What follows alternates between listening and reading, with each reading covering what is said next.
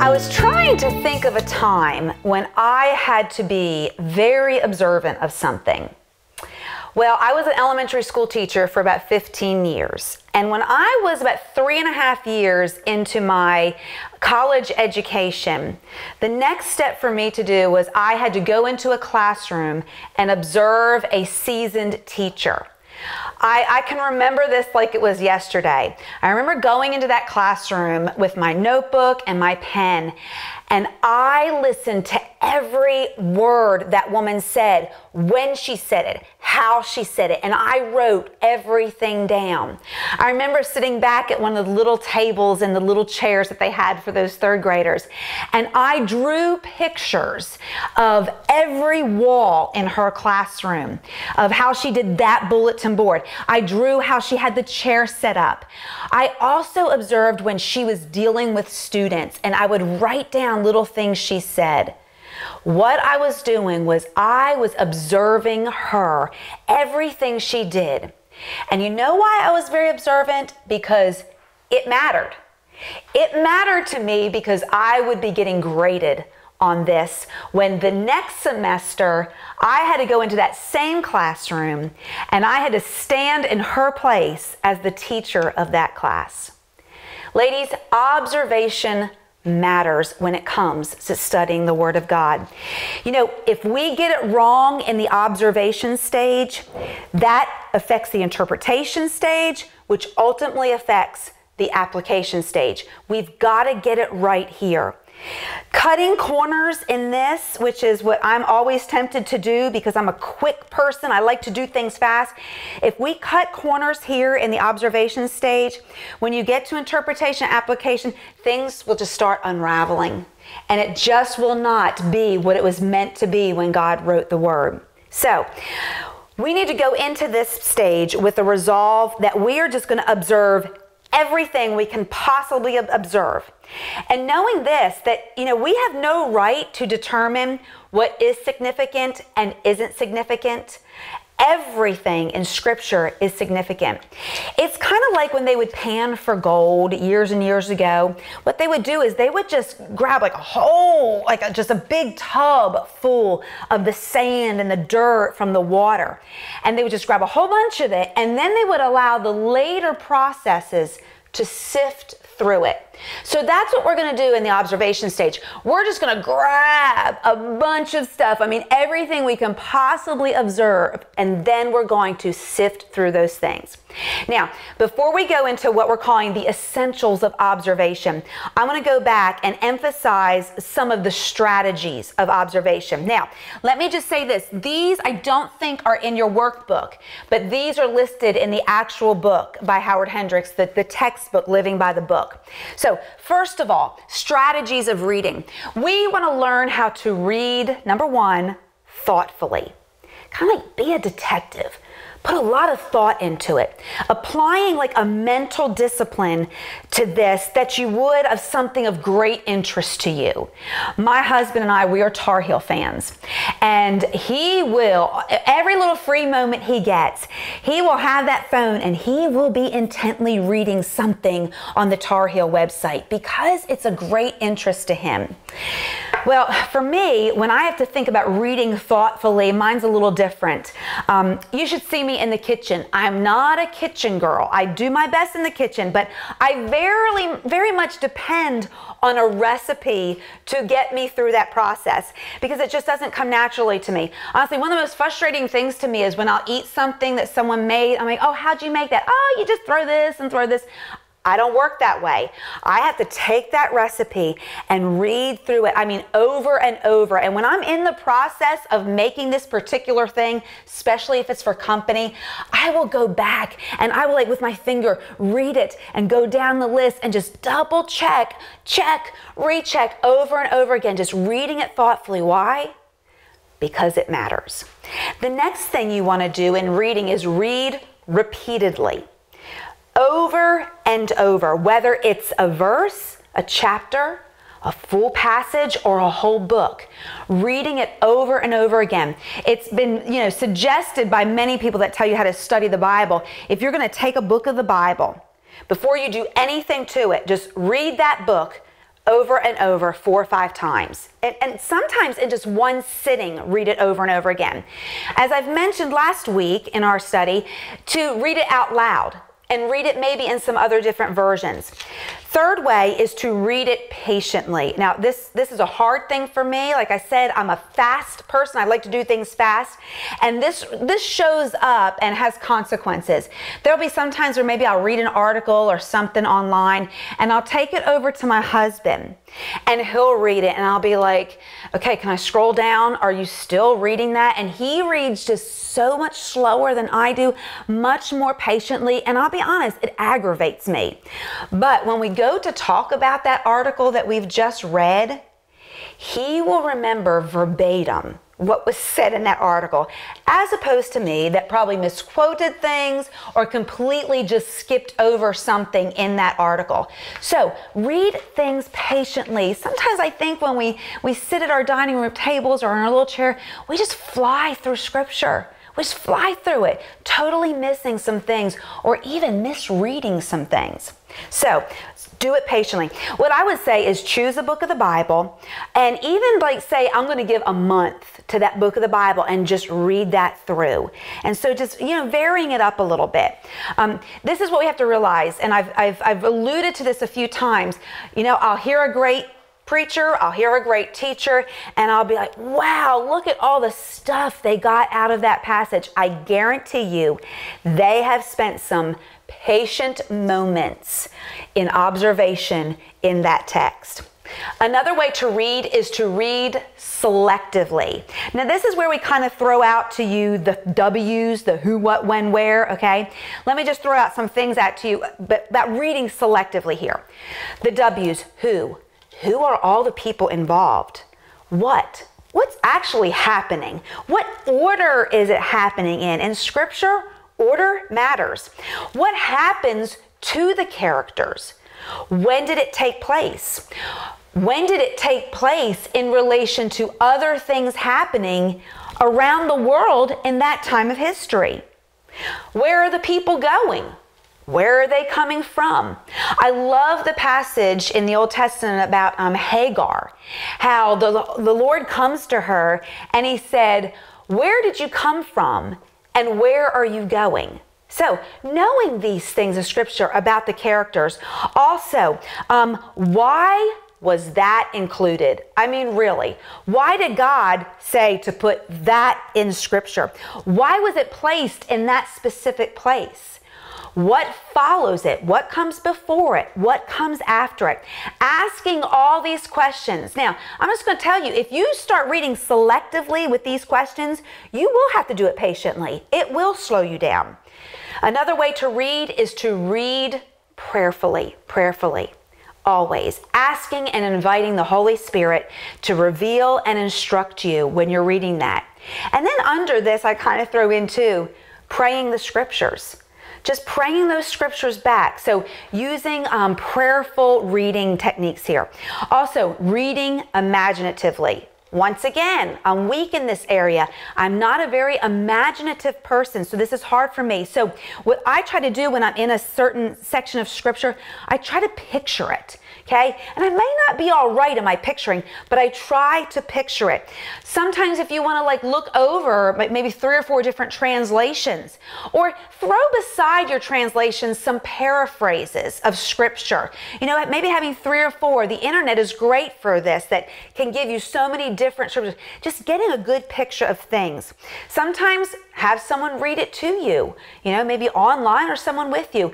And they've even suggested this vary the setting where you actually read the Word of God.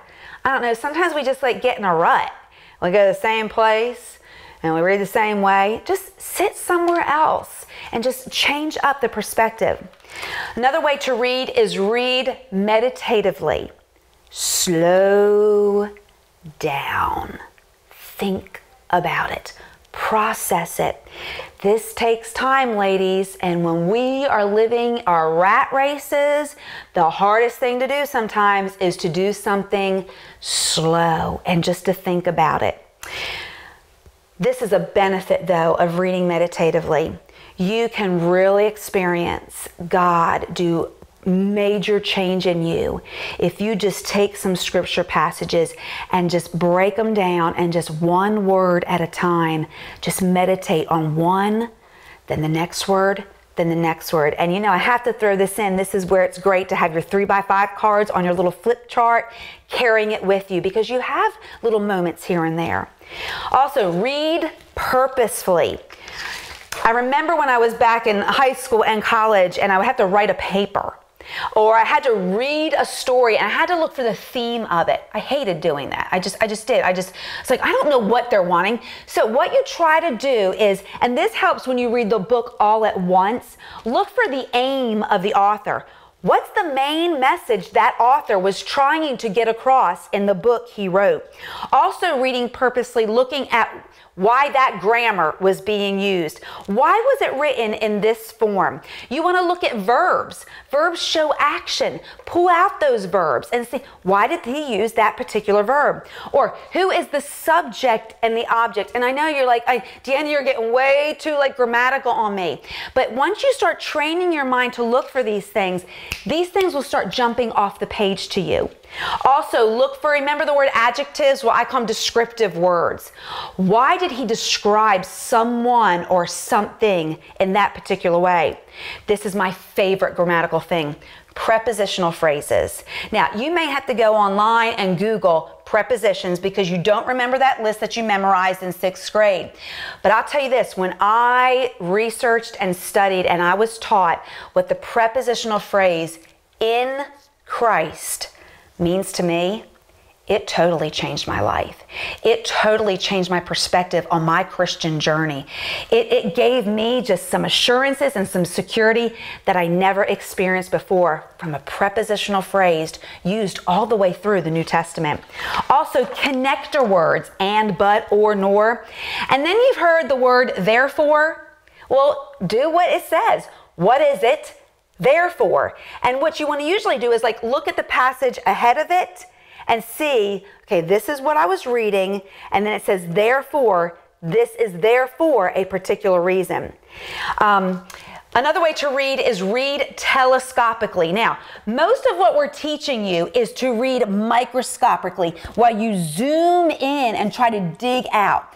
What this is element of, it's trying to say pull back from it and read telescopically.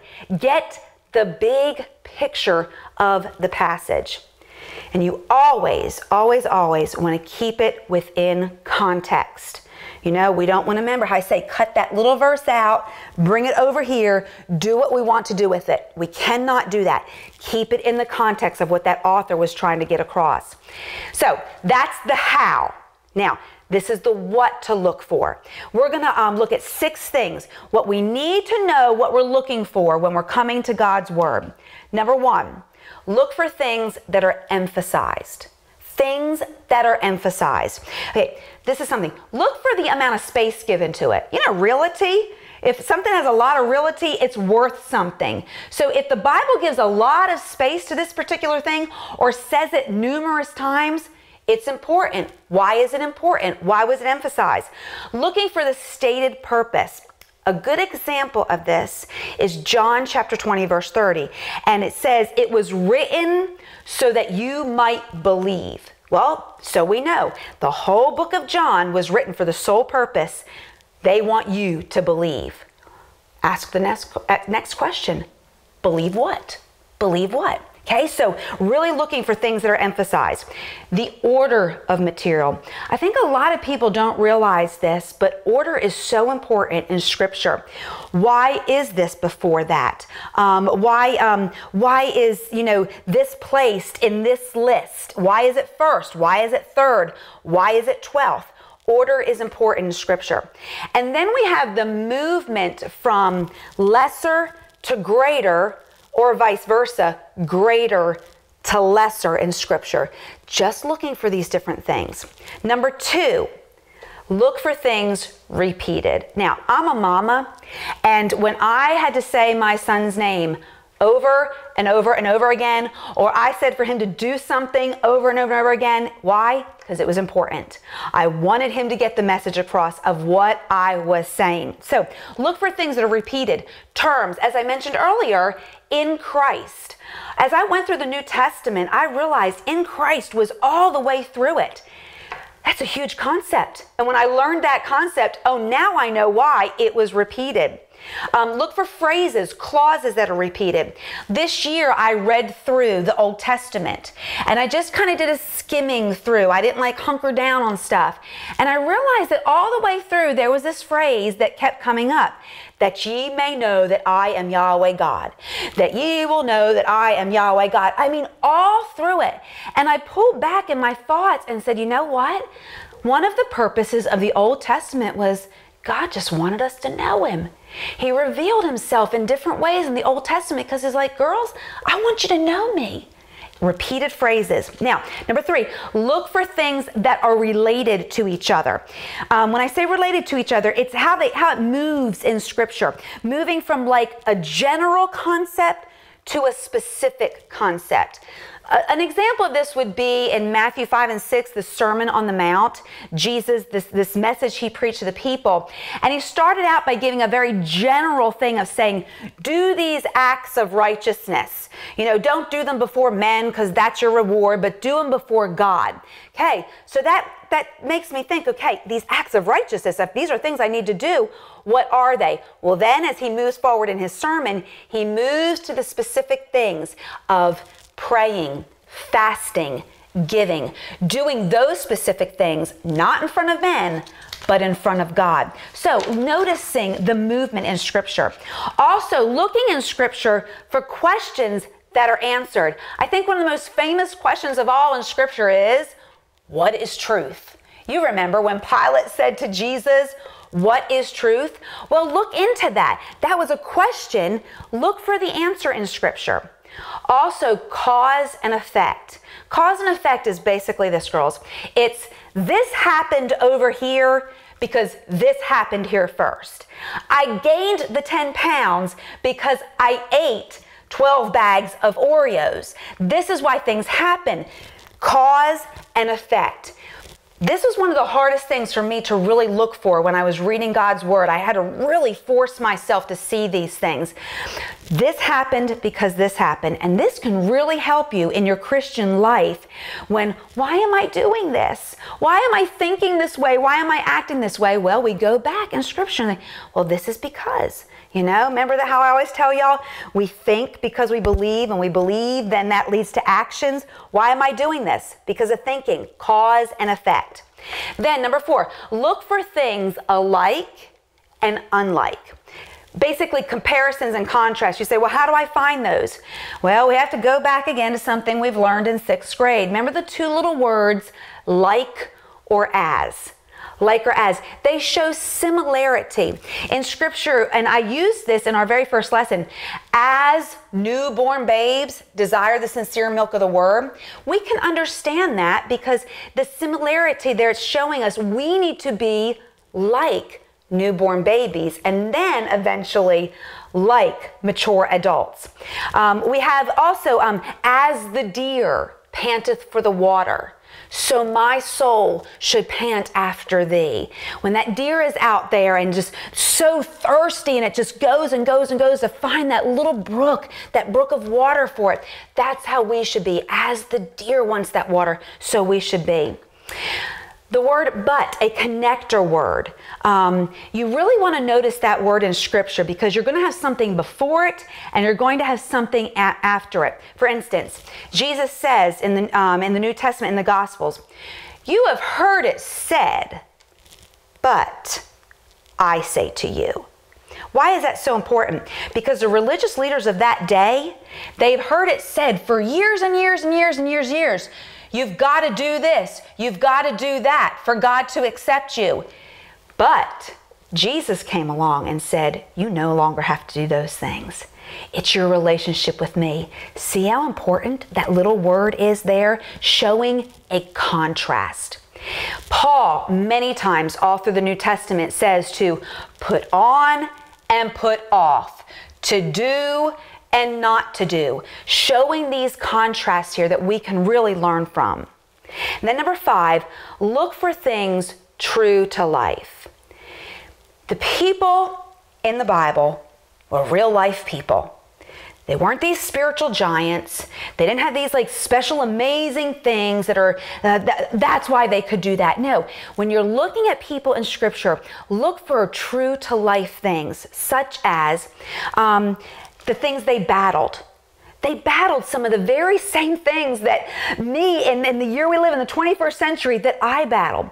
Look how they reacted to things. Look how they responded to things. What were their ambitions? They're just like us. They have goals, they have desires, they have ambitions. And then how did they feel? When that particular thing happened to them. Come on, I can't help but think when Abraham had to go up to that, that mountain taking his son. I mean, I have a son. There's no way I'd put my son on that altar for any of you. Can you imagine what Abraham was feeling at that time? Go into that. Look for things. And remember, these were real life people experiencing real life things. Well, at this point, you may be thinking, Deanna, this is going to take me the rest of my life to study the Bible? Well, yeah. Do this. Just in your heart, ask the Lord to help you to make the study of His Word a lifelong goal, desire, ambition for you. You know, you'll want to start out simple. Don't don't tackle Revelation first. Please don't tackle Revelation first. Take a passage that maybe you just always loved Psalm 23 or John 17, um, a particular area in Scripture that's been special to you. Start there, start simple. Start asking questions about that passage. Get a notebook, write everything down. And I'm just going to tell you if you start doing this and giving a little bit of time to this, bite small pieces off, you will be amazed how God will speak to you through your personal study of Scripture.